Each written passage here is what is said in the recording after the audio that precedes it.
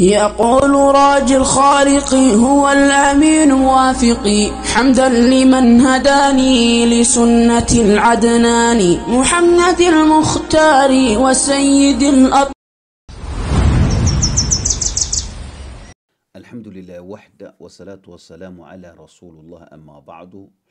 Alhamdulillah Allah has given me opportunity again today and also Alhamdulillah again for Allah giving me the opportunity to show you this and the length of the magician they go to do their evil.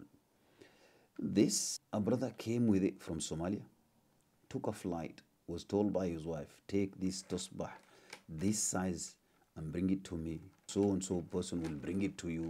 This tusbah is so massive this type of tusbih, magicians, they use it. I know one magician who lives in the Great Western Street. He used to use this type of tusbah. He put it down and the person sits in the middle and he goes and does his crazy stuff. As for these, the brother was given to him. It was Sihrul Mahabba, black magic of love. Also, according to him, what he's telling me, that she's worried that I'm going to leave. But there's nothing for her to worry. My main subject is what are the animals magician use. Over the years, I used to visit houses and they used to show me animals, different animals. But this one is becoming more and more different, different type of animals died, either in the front garden, either in the back garden, either crow, either magpie, either pigeons, either squirrel, either rat, either cat died in their front garden or back garden, just like that. And sometimes it's not one occasion, it happens frequently. It doesn't happen just for no chance. There's a reason behind it, not coincidence, just like that. Only Allah knows best. Now, what sort of animals does magician love? According to Sheikh Muhammad, says magician loves the animal which you don't suspect, which are around the human beings, which are always there. Number one, magician love black cat. Why cat? Let me rewind the history. Back in the days in Egypt, people used to worship cat. They worship cat a lot. They see cat. They even bury people with cat. They thinking cat brings baraka into their lives. Cat is a good luck. Or when they bury the person with a cat, the cat will protect the person from any harm in the grave. Look at the length of the people. They go. So any animal that is being worshipped, Shaitan will use it very, very heavily. Today, when you look in India, they think cat is a bad luck. Well, in fact, that's not the case. Cat is just another animal out there who lives his life. The black cat can represent the jinn or any another cat. What they do is they get the cat and they say, according to them, that when they use the magic on the cat or they do their ritual on the cat, it doesn't miss the target, it hit the target. They use the private part of the cat to do black magic of dirty. The person commits so many zinas and etc and they use the cat private part also to do black magic of love or black magic of separation they do a lot of stuff with a cat you will find people who are possessed who have got a problem. They have no cat or anything. You see them cat approaching them for absolutely no reason. Either the cat of the neighbor or any another cat out there. If you see like that you should rebel that cat and you should stay away from that cat and if you got spiritual issue, particularly if you got sihr. Number two is dog. They love dogs so much. As the black dog was mentioned in the hadith, he is a shaitan. Shaitan takes the shape of black dog. So black dog magician uses either the ears, either the tongue. The tongue is most frequently. You'll find an individual, a wife, or a husband. He's a very foul man or very foul woman. You will be shocked the words they utter to each other in the marriage or outside. You find out this person, they used the tongue of the dog to do the magic.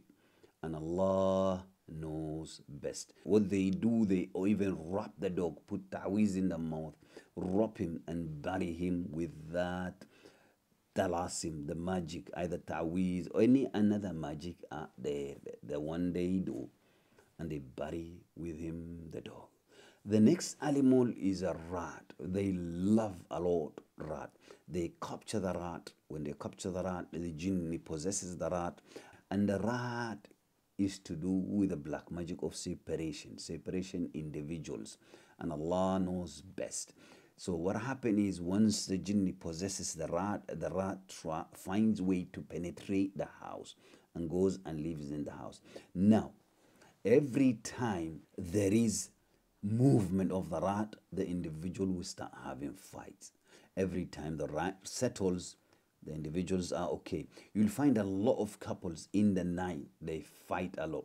You know why? The rat moves a lot in the night and Allah knows best. This is why we recommend a lot on the people to use the luban to burn inside their houses because if there's a rat jinn, then rat will flee from the house thinking the house is burning. The next one is rabbit. They love rabbit a lot and they do qurbani on the rabbit a lot to do their sihr.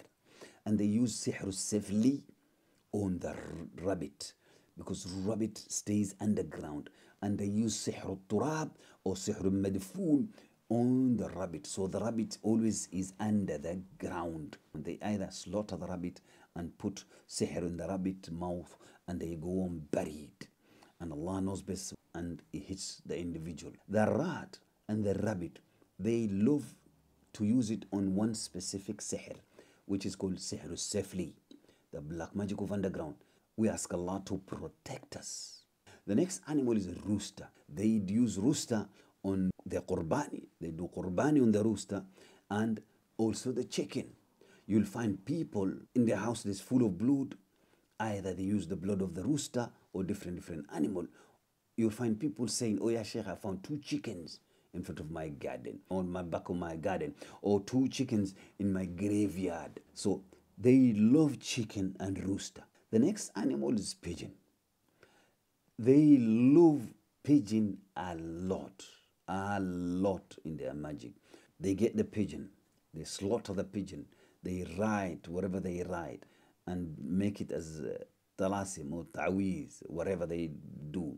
And then they attach it to another pigeon, either in the wing, either in the neck, either in the leg, and that pigeon flies. Now the sihr is with that pigeon. The pigeon every time he flies, there's a problem with the person. Now, they use pigeon for sihr tafriq. They use pigeon, I repeat, for sihr tafriq. Every time the pigeon flies, there's a problem. Now, every time he flies, the pigeon is exposed to the air. And that is the magic of the air. Also, they do it recently. Somebody called me says, Yeah, Sheikh, there's a pigeon died in my back garden or in my front garden for absolutely no reason. This brother, what he did, he proposed to a sister. After him proposing to the sister, it didn't take that long. He just found a bird dead in his back garden. The next animal is crow. They love to use the crow in their magic. The next animal is donkey. Donkey, they use it in one specific sihr. Sihrul intiqam. Sihrul intiqam is black magic of revenge. They use it on the donkey. They take the donkey, they kill the donkey, they use the brain of the donkey, they boil, boil, and do whatever they do, and then they go and feed the individual. The individual, by qadr Allah, it will hit him, or it will not. If he will not hit him, it will not hit him. But if he hit him, he's going to be either poly, poly, poly, or mental health, or death. Or he will be problem after problem for his life. The next animal is goat.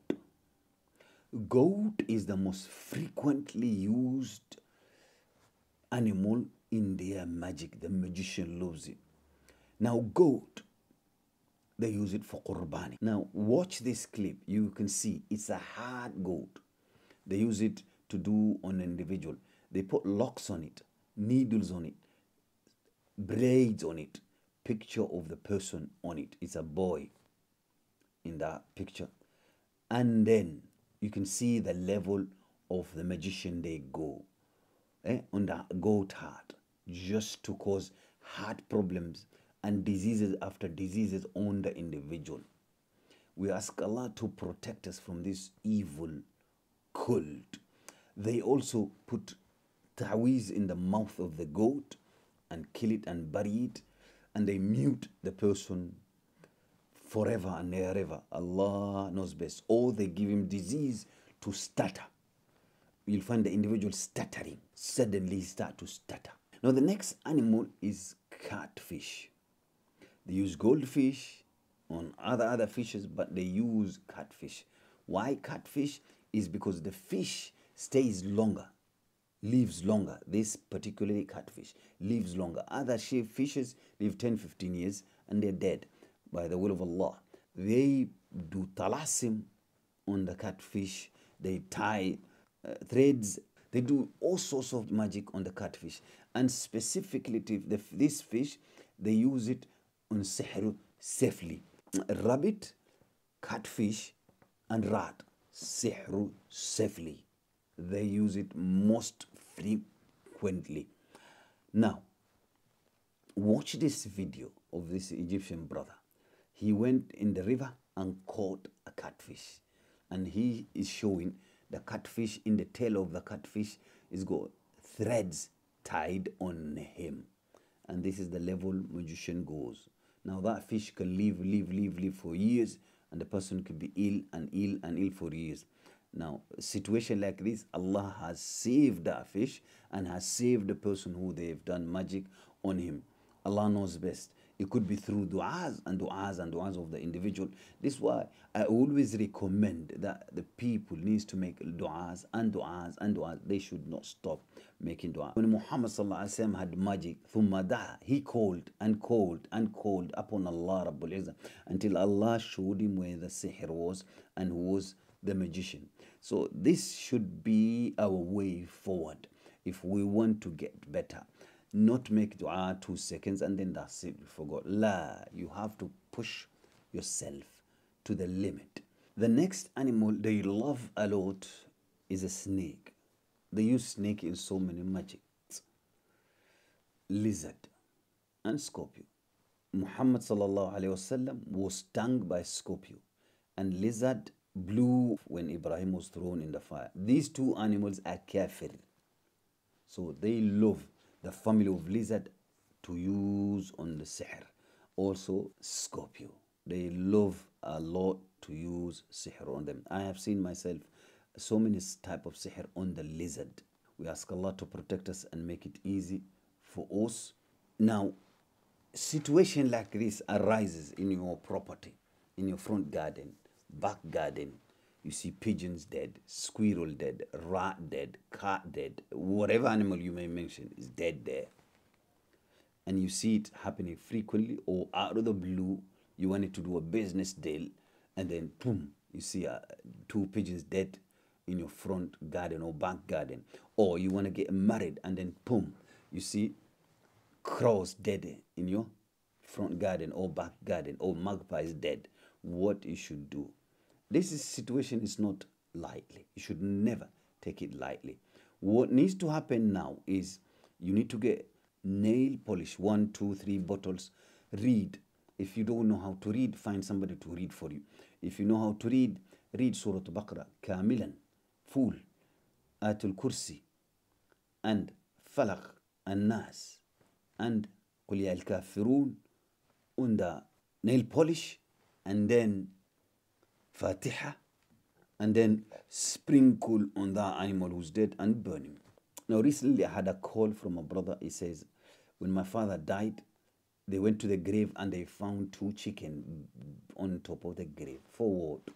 There is a reason behind it. So, inshallah, this method will help. Just burn the animal totally. We ask Allah to make it easy for the believing men and women. We ask Allah to cure the believing men and women. We ask Allah to protect the believing men and women. We ask Allah to remove the magic in the bodies of believing men and women. We ask Allah to remove all the magic everywhere in the world. If you have any question, drop me an email. Inshallah. وآخر دعوانا وسلام على المرسلين والحمد لله رب العالمين